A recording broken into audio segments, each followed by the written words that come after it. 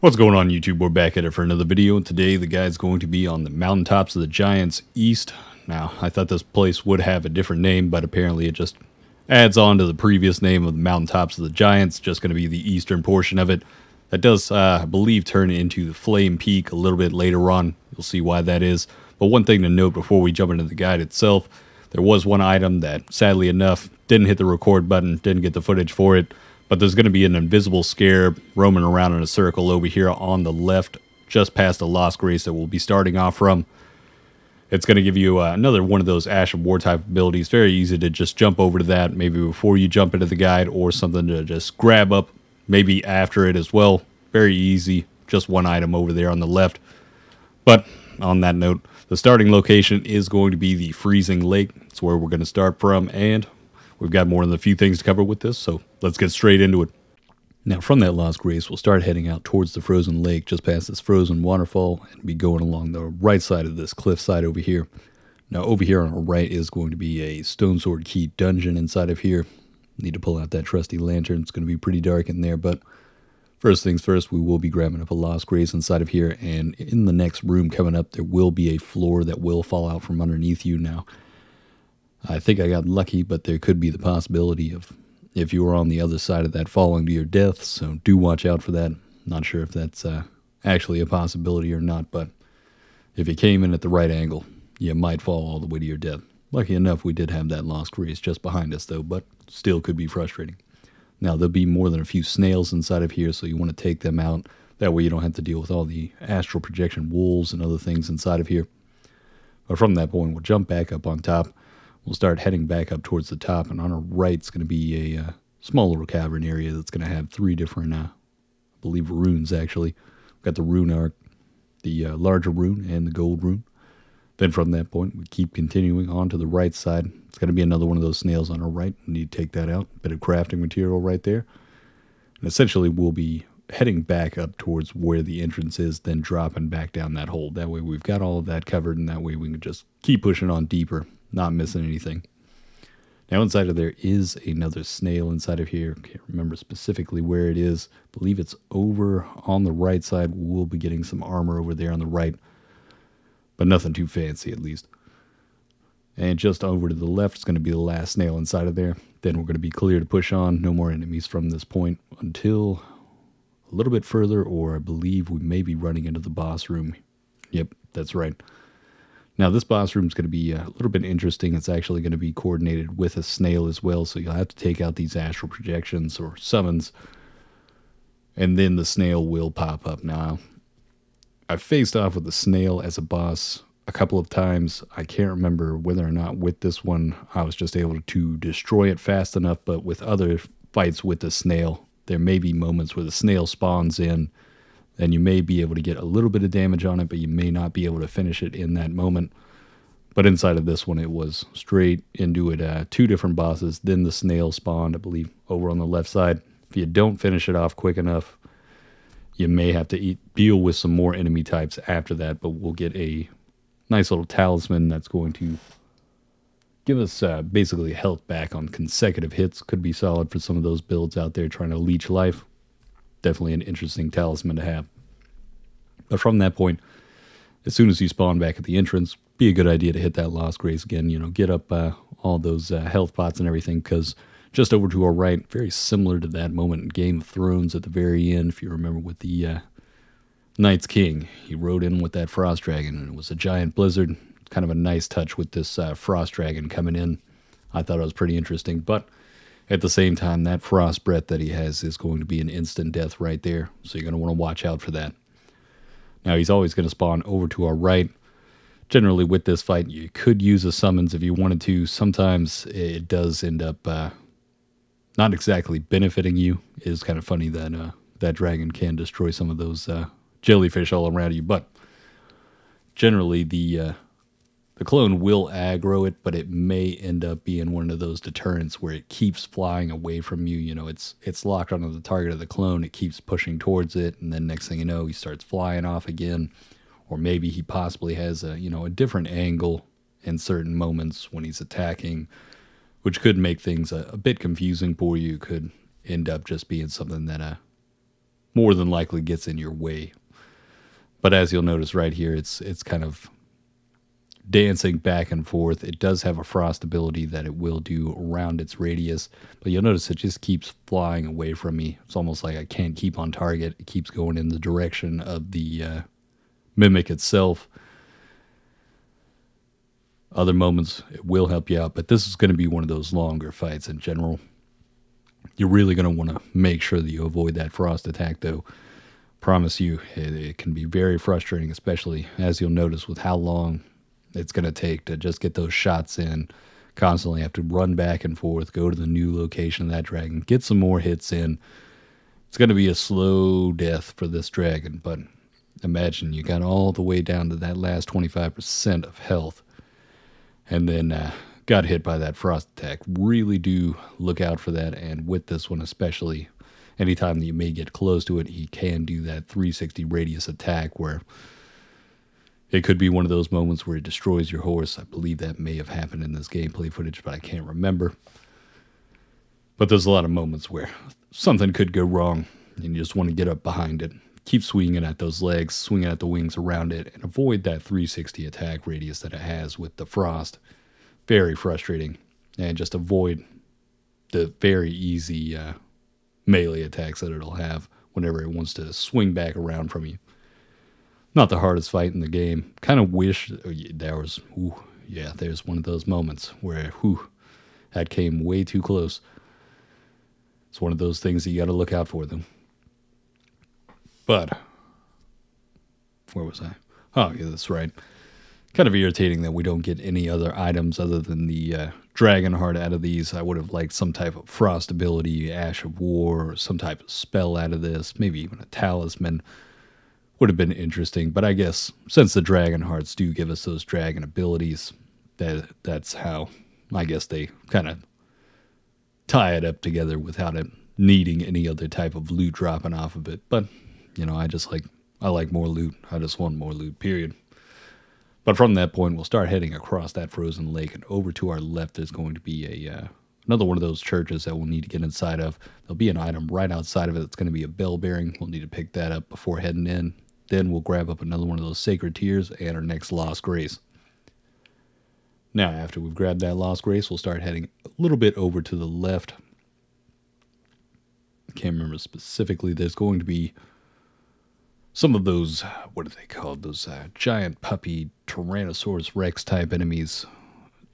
If you've seen them before out next to uh, Redmane Castle, you know what I'm talking about. They're a bit frost this time around don't believe they do any frost abilities, but just around the bend over on top of this little mountain over here, we've got another one of those Evergaol boss fights. This one, fairly simple, fairly easy. Not going to be one that uh, it's really going to give you a problematic experience. As you'll notice, it's just a little bit of a lightning attack. Very easy to stagger this guy. He will be able to heal himself, but as you'll notice, he's a bit squishy. You have the uh, proper damage. You should be laying this at this guy out fairly quickly. I can't remember specifically what we get out of this guy. We will get another type of spell ability. I believe a full set of armor. Armor is not that uh, interesting, trust me. Doesn't really give you any boosted stats, or that I can remember. But from this point, we'll need to head back to that church location. This kind of ties in with the, uh, since I did this uh, over the course of two different streams, this is where I uh, spawned back in when I came back. That way I can keep people on the uh, exact track instead of trying to tie together the two different footages from just moving from that Evergaol. But if you're still over at the Evergaol, we could just head over to the left. There's going to be a small castle in front of us. But from this point, we'll start taking out, taking out some of those T-Rex puppies. There's going to be a couple of them, but pretty much the only area that we're going to see these enemy types in.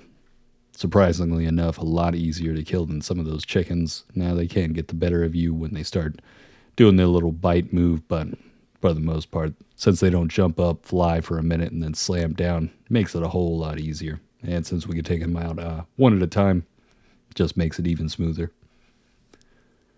But just over to our left, I believe we'll have another one of those explosive arrow types. And then over to our right,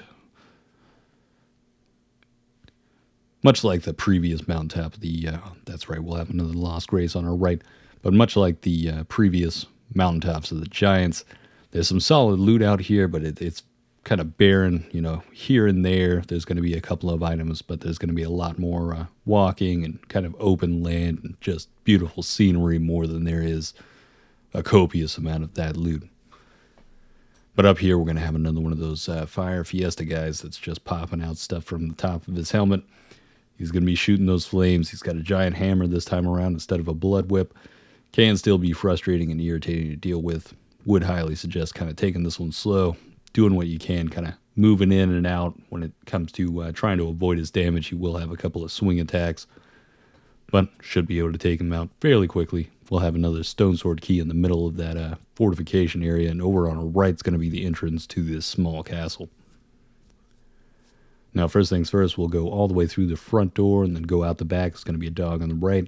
I believe there'll be one item out here, which is going to be that gold rune right there. Now, in the footage, I jumped over across over here. Sadly enough, there's no loot back here.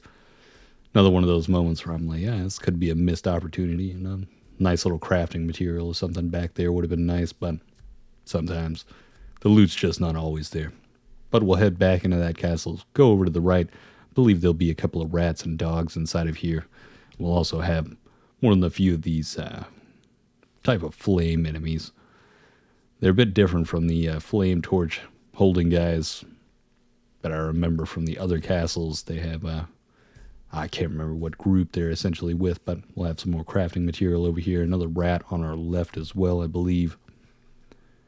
But from this point, this is one of those moments where I kind of got lost for a moment. I actually uh, just kind of looked past the uh, the ladder over on our left side, but we'll be heading over to that now.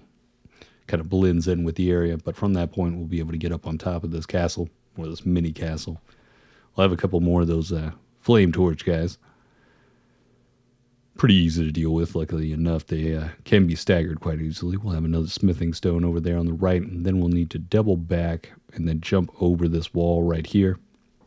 Now, if we go all the way to the left, know, I thought maybe for a second my fat suit was too large for this jump, but lucky enough, we've got an opening down there on the left and there'll be a dead body over there that, for whatever reason, doesn't have any loot on it. But up here in the left, we'll have a couple of dogs to deal with. And then we'll have some uh, shield toting guy over here, almost like, or similar to those NPC uh, invasion types, but he's got some flame abilities. It's got a solid shield that apparently we'll be able to grab up. Now, this one won't be doing fire damage for whatever reason, but I'm not 100% certain. Could be a solid shield, not one that uses them, but let me know down in the comments. Now, just over to our right, we'll have a tower that we can go up. And this is going to give us another one of those uh, spell books that we can learn from uh, one of those sorcerer vendors, or I believe it's the Giant's Prayer book.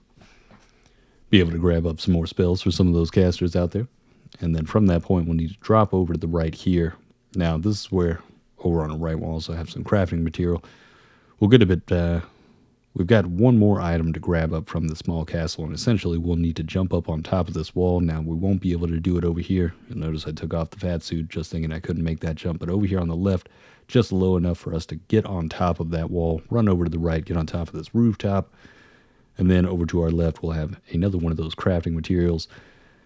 I still don't know what that's used for. I keep finding that, you know, it glows purple, but at the same time, it is quite frustrating that uh, you know, one one of those items that looks like it's you know a pretty decent secret, something that's kind of off the main path unless you're really looking for it, ends up not being a some type of rare item. Kind of wish it was something more than just a crafting material. But outside here, on top of one of these uh, frozen weird trees, is going to be a scarab that we'll need to shoot down with one of our uh, ranged abilities, and we'll get another Ash of War out of that guy. Now, there'll be a couple more of these flame guys out here. You can take them out if you want to, but essentially, we've got a gold rune, and then we'll need to just press on forward, get to our next uh, Lost Grace, and we'll be picking up the map for this area. Now, in this next area, you'll notice a lot of the bridges over here are just going to be giant chains. I'm telling you right now, I don't, I don't feel comfortable with just that snow across this. I feel like I would have already fallen through by this point, or there's no way I'd actually cross it on horseback or even on foot. But from that point, we'll be able to grab up the map and we'll grab up this Lost Grace location. This will be the main one that we'll essentially use until we get to the midpoint up here. But now we're essentially at the Flame Peak You know, I'm not. The map itself said this was the mountaintop of the Giants East, so not sure which name to really choose for the title of this video. I mean, you'll have already seen it by the time you're already watching this, but I'm still contemplating whether or not to call it the Flame Peak Guide or the Mountaintop of the East. Now, in this area, we're going to be dealing with a lot more of those hands. Very frustrating, but lucky enough with the hands, every time that we kill them, we have the possibility of getting one of those Somber Smithing Stones. And I believe most of them will be level 7 in this area, so we'll be getting up more than a few of them. Now, generally, the big hands, the first time you kill them, they're always going to be dropping that Somber Smithing Stone, but do uh, be on the lookout for those small hands. They can still drop them as well. Now, from this point, we'll take out a couple of those smaller hands, just kind of checking around the area. We're going to have more than a few of these Yetis out here, giant Yetis. Pretty simple to take these guys down. You just keep ha hammering away at those legs. Not too hard, especially if you've got that uh, weapon upgraded to level 10 by this point. Hopefully, you've been through the uh, area on the left with the consecrated uh, snowfield. If you have, more than likely you've already got that weapon level 10. We're ready. We've got the damage ready. But we'll have one more of those. Well, I forgot. Yeah, there was one more of those uh, puppy T Rexes. But over here on the right, we'll notice there's a building off in the distance. That's where we're going to start heading over to next. We'll need to kind of double back, get to the lower ground, and head over along the right edge. We'll be able to drop down over here. Now, it's going to be more than a few of those smaller hands, so do be on the lookout for those. And there'll be a couple of bigger hands coming up as well. Some, of or I believe only one of them is going to be dug into the ground. I'll show you that as we come up closer to it. But do be sure to take those out if you want those somber smithing stones you know, no reason not to uh, pick them up as you go. But over here on our left, there's going to be a hand that comes out and one dug into the ground on the right. They definitely get the better of me in this moment. Now, I will say this was one of the moments where I kind of uh, made the realization that dealing with these hands is not going to be.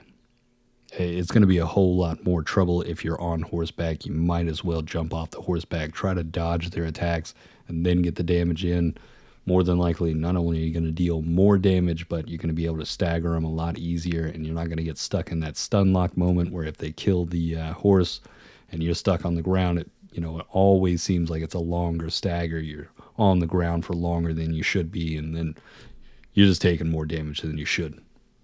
So that's one thing to note about those hands in this area, as later on we'll be dealing with some much larger hands than we've uh, previously encountered. But from this point, we'll be able to, you know, circle around, find out there's no loot around there, and then enter the building itself. We'll have another dungeon down here. We'll take the lift all the way down, promptly grab up our first Lost Grace in this location. Now, over on our right is going to be another one of those Stone Sword key rooms. Should have plenty of them by this point, it's only going to be one item inside of here, which is going to be another type of flame ability, some type of uh, sorcery.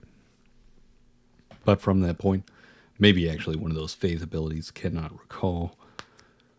But we'll start heading out, going over to the right. Now, in this area, there's going to be a specific mechanic that we'll notice. Also, one thing to note over here on the right, there's going to be an illusionary wall. I think the reason for this is to just kind of jump out down here to the left, as there's going to be some type of glowing uh, signature on the ground. We'll have a gold rune back there as well. That's essentially going to break the uh, type of sorcery some of these enemy types down here have. As you'll notice, I go all the way back down, and you'll notice that cat's looking a lot darker than it should be. But over here on the right, we'll also have a glovewort. And that's because he's got some type of protection around him, along with the uh, gargoyle imps back there. You'll notice I'm not dealing any damage to him while he's in that darkened state, so I'll need to guide him over to this lit up uh, sigil in the ground. That way they can take off that darkness that's protecting them, then be able to deal the damage. Now, you will have to kite them a bit, but as soon as they touch that light, they will be staggered for a moment. Perfect opportunity to really get some of that damage in early, and we'll have a couple more of these to deal with as we progress through this dungeon. Now, down here, as soon as we grab this glovewort back there, we're going to have another, I believe it's only two of those gargoyles or fanged imps. We'll need to guide them back to that lights and then take them down fairly quickly. But from that point, we'll be able to head over to the left. Now, just behind us, it's going to be nothing back here other than a little bit of crafting material, but over on our right's where we're going to need to hold out for a moment. We'll have one of those flame guys inside of there. Lucky enough, we can kind of trap him inside of that flame trap itself. Now, now we'll want to hit that flame trap and bring that on down. As you notice, there's going to be a hole above it. We'll need to drop down from that a little bit later on. We'll have a couple more of those uh, darkened enemies that are going to be invincible that we'll need to kind of, well, I couldn't, you'll see here coming up in a second. Now we'll have another one of those flame guys inside of here, fairly easy to take down. On our right's going to be another consumable. On our left, we've got another stone sword key room. Once we get inside of here, we're going to be grabbing up. As you notice, we'll have that hole just behind us. We're going to need that here in a second. We'll grab up the weapon in the back, which is a colossal hammer, I believe. And on our right, we'll need to grab up that glovewort. As you'll notice, we'll have more than a few of those fanged enemy types down here, so we'll need to jump on down. Now, I couldn't get them kited down. I thought I was going to be able to pull them back to that uh, lit up sigil on the ground, but that's going to be the colossal hammer or great hammer that we'll have doing a little bit of that fire damage, getting some faith strength or faith uh, attribute to it. Not sure whether or not it's one of the most powerful, but could be interesting to use. But from that point, we'll just need to head back and uh, go towards the opposite direction, head down this lift. Now, once we get down here, we'll want to activate the lift again. Just below it, there's going to be a light that's going to light up a uh, one of those, I guess, little sigils on the ground. We'll need that as there's going to be uh, one of those Yetis inside of here that's going to have that darkened power. Now, if you don't have that lift already all the way up, that's not going to be lit up, so you won't have that available. That's why we'll need to get that done beforehand. Now, we'll need to guide that guy all the way back, and lucky enough, as soon as he gets hit, like I said before, as soon as they touch that light, they're going to get staggered. We'll be able to get in fairly quickly and then drop him to his knees almost instantly just take him out like it's nothing. Now, just behind him is going to be the doors that'll lead us down to the boss fight. Now, we won't be going there just yet, but just off to the left, we've got another one of those gloveworts. And just below us, you'll notice there's an area that we can get down to. We'll be getting down to there from a different route. You could jump over right there, but essentially we need to uh, activate that lift one more time just to get all the way down there. And we'll have that light down there because there's going to be another couple of those enemies with that darkness uh, protecting them and it's going to be a couple of those cats, and whew, you know how uh, devastating those cats can be, and you give them invulnerability, nightmare. But just behind the lift itself is going to be another one of those gloveworts, and then we'll need to kite this cat over now. Do not start running in the opposite direction. You kind of want to keep this one in this area since there's going to be another cat off to the right. Luckily, it didn't aggro it right there, but if you start pushing around over to that right corner, you could get that second cat on you. And whew, two of those cats at one time. That's that's not a fun one right there.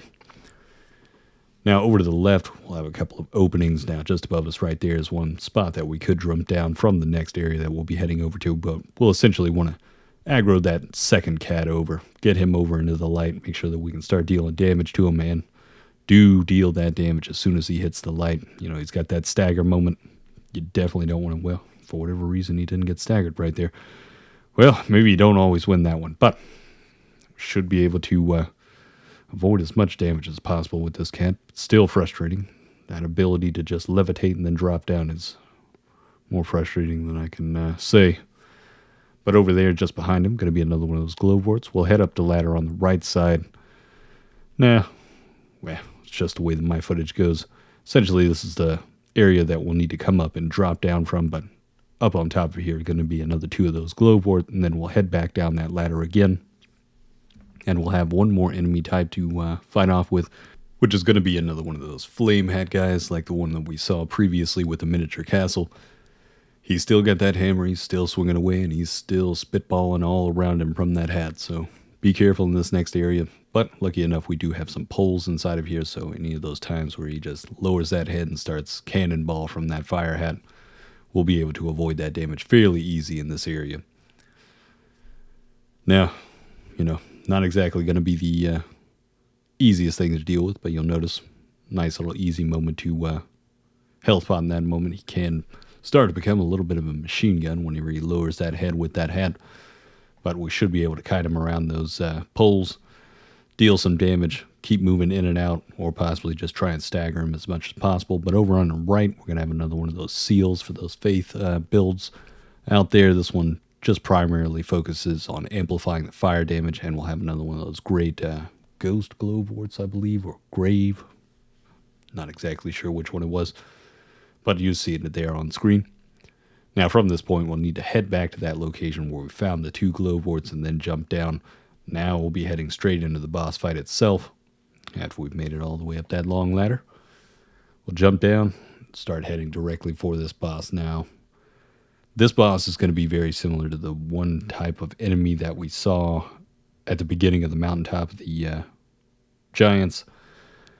It's the one that spits out that frost and a long range ability not exactly the hardest when it's just one on one and they're not grouped up, but at the same time, still can deal some devastating damage, but should be able to take him out fairly quickly. Now we'll get some nice little armor from him that isn't exactly the greatest, but we will get his uh, curved greatsword, I believe it is. Not really anything too fancy about it, but it does have uh, some type of build up on it. I can't remember what exactly it was. Maybe something to do with frost. That's what I'm expecting out of it. But from that point, we'll be able to spawn back at the beginning, and then we'll need to head back in the direction. There'll be a hand just below us. If you want to kill that and grab up that uh, somber smithing stone, by all means, take the time to do so. But we'll have another somber smithing stone over to the right as we come out. And then we'll kind of just hug this right wall all the way until we get back on top of uh, this cliffside over here. Now, there's going to be a bunch of those swords like we've seen with many of the other areas that give us uh, little bit of detail to the area or who's going to be the boss in that area. We will have a quite the giant to deal with later on, but we'll see that coming forward.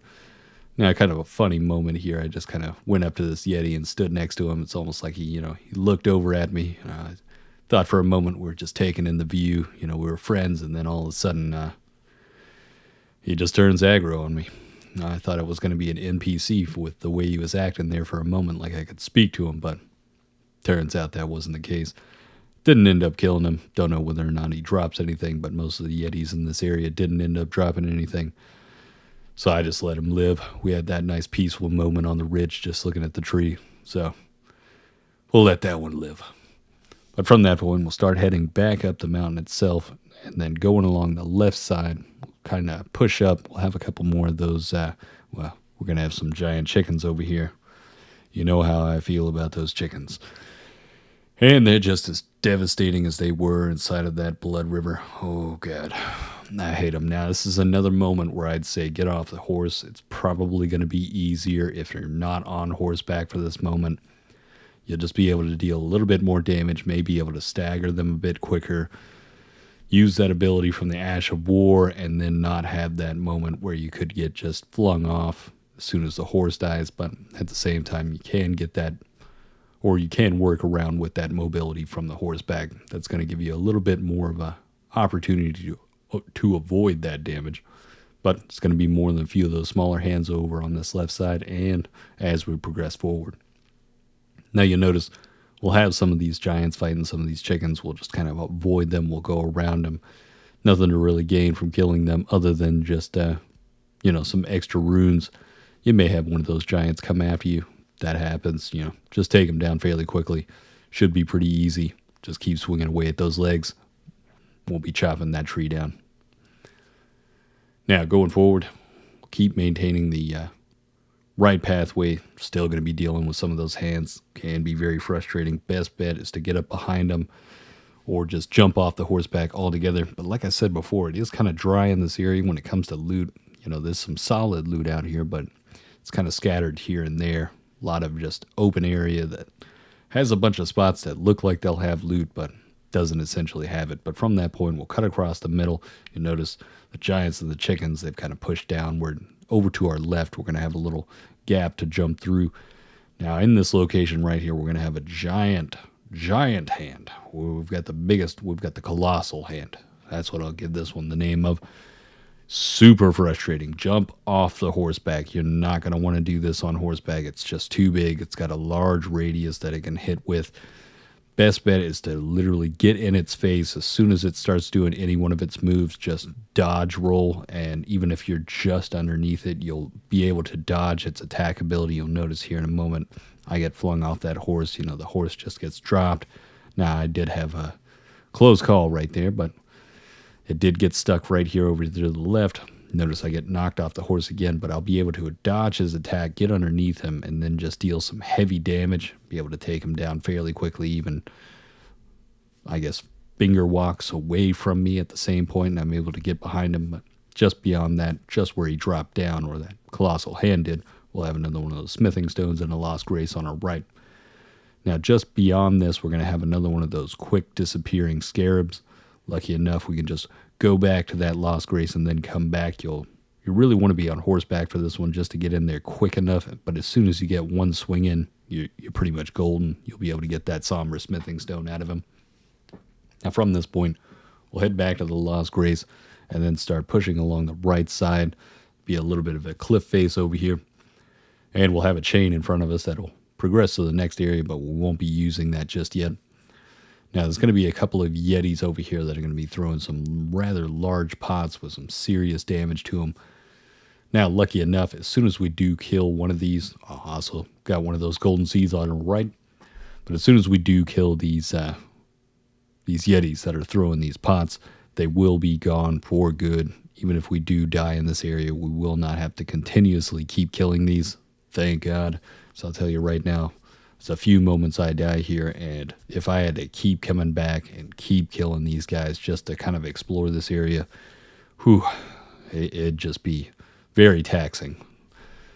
I almost think they should have left it in that they kept spawning, but at the same time, it's it's a sweet relief mo- moment that uh, we don't have to continuously deal with these guys throwing those large pot at ugh, large pots at us from long range because they can be devastating and they will stagger you quite well.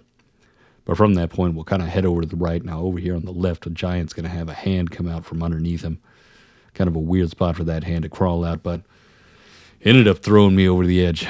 Very frustrating right there. But if you just run straight underneath that uh, that giant or frozen Yeti giant statue right there, be able to make quick work of that hand. That way you don't get pushed over that edge. But just off to the right, we'll have another one of those. Uh, I can't remember what that is. Some type of starlight. I believe what it does is essentially give us the ability to save our runes in case we die in that moment. If we use it, we'll have them come, blah, blah, blah, losing my uh, losing my ability to speak right now. We'll have another couple of those T Rex puppies, and then some more of those smoldering butterflies next to the larva or molten lava larva. Goodness, I'm really losing my ability to speak right now. Some of those slugs that are going to be molten lava. Now, over here on the left, we'll have another one of those skulls that we can jump on top of. Kind of another missed opportunity for some loot that I really thought should have been there. There'll be one spot on top of one of these giant skulls that will have loot, but I, really felt like each one of them should have had some loot on top of it. I guess it was essentially just, you know, part of the scenery, the area. Now, over here, there will be a Yeti in the middle, but on our left is going to be another one that throws those pots again. We want to make sure that we take out that Yeti first. This is one of those moments where I'm like, you know, thank God that they don't respawn because very frustrating at the range that some of these guys have, and especially if we had to deal with three of them, three of them at a time each time. Just moving through this area would be a whole lot more aggro. But from that point, I appreciate it, Lucky Savage. But from that point, we'll start heading over here to the left. And I can't remember. I believe this is another dry spot. We'll have some crafting material over here. I appreciate it again, Lucky Savage.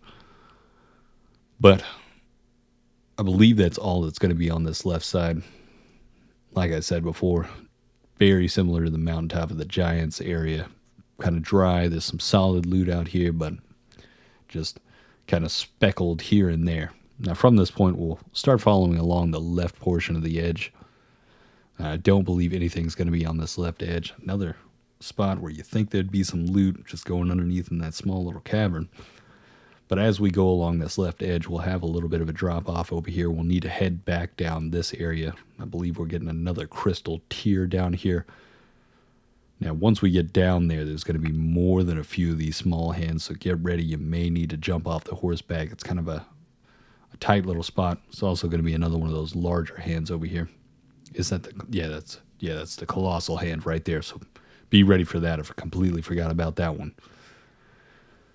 whew, like I said before, you want to get off that horseback. You want to deal with this on foot, be able to dodge roll some of those attacks, get underneath it or just behind it, try to stagger it as much as possible. Now, just over here on our left is going to be that small little path along the edge of this cliffside. It's going to be more than a few of these smaller hands, so I highly suggest getting off the horseback, dealing with them face to face. You'll notice how tight the uh, squeeze is right here would be a horrible moment to have with, you know, the amount of hands that are going to be around this corner coming out. If they get you knocked off that horse, they're just all going to be slamming down on you. Could be another death in that moment. But if we get off the horseback and kind of funnel them into this small spot, take them out fairly quickly. I believe there's still going to be a couple more as we come up along here as well. So that's another reason why we want to kind of drop off that horseback for this moment. There will be a larger hand as well. Hopefully nobody gets taken off the edge with that one. But there's going to be a crystal tear. Now with this crystal tear, there is something special about that one. Specifically, it, as soon as you put it into the mixture, it's going to be one of those that when you take damage, you may receive health back on the consecutive uh, hits of damage with that. So it could be one of those, especially for a boss fight, to take one or mix that in with uh, possibly increase the stamina or overall maximum health. That way, each time you're taking damage from that boss or someone or other common enemy types in a large pack area, you'll be getting a little bit of that health back, just kind of diminishing the damage overall that you'll be taking. Now, from that point, you know, it's another one of those moments where I could jump on top of that uh, skull over there, but sadly enough, no loot on top. Just a bunch of text of other people that have made it up here as well, probably complaining about the same thing I said. It's just a missed opportunity for loot. But from that point, we'll start heading over along the left edge. You can kill that Yeti if you want to, but again, it's just going to be another moment where we're just getting a bit of runes from it. If you need some extra levels, not the worst idea to kind of take them down since it can be fairly easy. But we'll start heading back towards that Lost Grace now.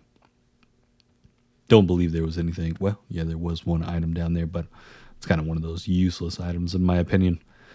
Who needs the uh, ability to uh, waste all their runes just to get back to a Lost Grace? Makes no sense to me. Uh, I don't even know who would ever use that item. But just kind of doubling back on the area in this gameplay footage right here, but we'll just be following along that left edge until we hit that Lost Grace, and then we'll be heading over to the right portion where we'll finally have one of those uh, giant skull statues that we'll be able to jump on top of and get some loot finally. Now would be a good idea to possibly spend some of those runes, get that level up, or just replenish all of our uh, health pots from that point. And over here on the left side, we'll just keep following this left edge along this cliffside right here. And just in front of us is going to be the skull that we'll be able to jump on top of. You'll notice there's going to be a wind tunnel on our right. Now, there'll be a couple of those uh, large chickens over here. Highly suggest jumping off the horse with these two. It can be very frustrating with two of them at the same time. It's like as soon as you attack one, you know, the other one gets ready to attack, but the first one's going to slam down, either hit you with that damage or you just narrowly miss their attack, and then the other one's ready to slam back down on you very frustrating with these giant chickens. I hate them. Or these are giant ravens now that I think about it. Completely different type of bird right here. But they've got the same moves as those other giant chickens, and whew, yeah, I, I'm not a big fan of these guys, especially when it's uh, two on one. You'll notice it, it consistently keeps happening to me where it's like I avoid one of their damage and then the other one's just steady right behind, just ready to strike on me. And it's just almost unavoidable. I can barely get an attack in at this point. As soon as I do, it's it just feels like you're just taking way too much damage, and then boom, right there. It's one of those moments where you get taken off the horse, and you can't do anything about it. But getting off the horse, melting that first one fairly quickly, and then I got pretty lucky right here. Lucky enough, this thing just flew over the edge and killed itself. Unreal. Sometimes you get lucky inside of Elden Ring. But from that point, we'll start heading over towards the left around this giant skull statue. Now you'll notice there's going to be some ruins ruins over to our right. Now it's going to be the wind tunnel that we'll jump down to here in a second, but we'll head along that left side of it, and inside of that skull we'll have another one of those ancient dragon smithing stones, and then from that point we'll start to head down. Well, that's right, we have another one of those giant ravens take that down fairly quickly. See, it just seems a whole lot easier on foot. Don't know what it is. Horseback just seems to be the death of me when it comes to those giant chickens. But we'll jump down to these uh, ruins over here, and there's going to be another one of those invasion NPC types. This guy's a little bit, uh, yeah, he's he's he's got a bit more agility to him. Could be a bit frustrating for you. He does uh, have that ability to health bond fairly quickly, but he's got a specific weapon that will grab off of this guy. That's called, uh, I think it actually is called Rivers of Blood. Is it? I can't remember. But he also have a Mac ugh, mask. But that Rivers of Blood's also going to deal some fire damage as well. But that mask will also increase our dexterity by three. So any of those users that are trying to max out that dexterity could be useful for you. Now we'll grab up another one of those sacred tears, further increasing the amount that our flask will replenish. Grab up that lost grace, and now in the gameplay footage, I, you know, I look over to the left. but We've already covered this area just down here. Now I'll also attempt to try and get up to the uh, small tower at this uh, church location. Couldn't quite get it. Nah, I'm pretty sure there's no loot up there, but at the time, you know, I just wasn't certain. looked like a spot that I could possibly jump up to. Maybe there was a secret, but I'm fairly certain there's nothing up there that it's actually available to grab. Didn't quite check from the cliffside over, but when I reviewed the footage from the angles, didn't look like there was anything up there. But who knows? You know, if you want to give it a give it a shot, by all means, try and jump up on top there. Maybe I'm wrong. Who knows? But from that point, we'll hit that wind tunnel and be able to grab up another one of those Ash War abilities from on top here, which is going to give us that Giant's Roar. Probably fairly. Oh, one thing to note wind coming down off of that skull. Now, you, you may think that it looks like it's going to be an easy drop, but from that left side, it seems like it's a death sentence. But going down towards the back and off to the right, you'll be able to survive it. But from that point, we'll be able to cross this chain over into the next area now. Sadly enough, I can't remember specifically, but there's, I don't believe there's actually any loot out inside of this area. It's kind of another one of those moments where I'm kind of baffled that this entire landscape over here is just kind of barren of any type of loot. I mean, I don't even see any crafting material growing anywhere. I suppose because it is uh, simply a boss area now, we'll be facing off with a rather large giant over here. He's going to have a shield ability, or, well, he's essentially only going to have a shield. He's going to be slamming down very similarly to any of those other Yetis in the area or giants that we've seen previously. Now, if you hit his left ankle, it seems to be the weak point. You'll be able to break off whatever type of armor he was wearing right there, and then it'll be pretty much a weak spot that we can hit him at. We'll be able to deal a little bit more damage than we can to the right one, which is going to have a some type of ankle bracelet, you know, when that's essentially armor for him. But you want to go after that left leg more than the right leg. The right leg's going to be, uh, you know, it's going to have a bit more damage resistance. But here coming up in a moment, you'll notice I start hitting the other one you know, it's it's fairly simple as long as you got the summons with you. His his attacks, for whatever reason, aren't exactly the most damaging. It may be, well, like I said before, you'll want to go after that left leg, but it, there'll be a cutscene in between that'll show you a moment where uh, he'll lose his leg. I'll leave that as a little bit of a surprise for you, just in case you didn't want to, or just not to spoil it for you. It's it's an interesting cutscene right there. I'd rather you see it on your own. But from that point, he's essentially lost his leg. He's he's on his knees, crawling around, just kind of slamming down with his hands. He's going to be rolling more than a few times. Now, if you hit that right leg, it will still have that armor buff to it. It's got a bit less uh, damage resistance to it. I kept hitting it thinking that, you know, maybe I could get his other leg off. Maybe it would break like the left leg had done. But essentially, I just uh, kind of wasted my time with it. Who knows? I'm not even sure whether or not the rest of his leg or any other spot is going to deal some more damage. But we'll get a remembrance off of that guy. Now, from this point over to our right is going to be a Lost Grace that we'll be able to grab up. Again, just no more loot back here, sadly enough. Kind of a, kind of a wasted opportunity for some of that loot that could have been in this area. But we'll grab up that Lost Grace. Now, in the gameplay footage, uh, we'll uh, Oh, I think I did cut it out. I went over to the left area portion as well, and it just didn't have any loot as well. I think I did cut it out. Boom. Yeah, I did. So there's no point in going over there. Essentially, we'll be heading up towards this uh, Giant's Forge. Now, this is going to be the very end of this video. There's no more loot to be had. Essentially, we'll jump up on top of here and we'll just head around the rim of it until we hit a Lost Grace, and then we'll talk to the maiden herself, and this will progress us into the next area. But that's going to be the mountaintop of the Giants uh, East guide right there, guys. You know, hopefully this has helped you out. May not have been a whole lot of loot in this area, but more than a few things that were some pretty choice items to pick up. If you'd like to see some of this content live, obviously hit that link down in the description. Follow me over at Twitch. We'll be streaming tomorrow. We'll be doing going for that eight hour stream, kind of covering some other areas. We'll also have the next area coming up after we talk with the maiden from here coming tomorrow. So if you'd like to see more of this content, hit that subscribe button. But on that note, guys, that's going to be it. We'll sit at that Lost Grace. We'll just talk with the maiden, and then we'll be on to the next area. Hopefully, you enjoyed it, and have a good one.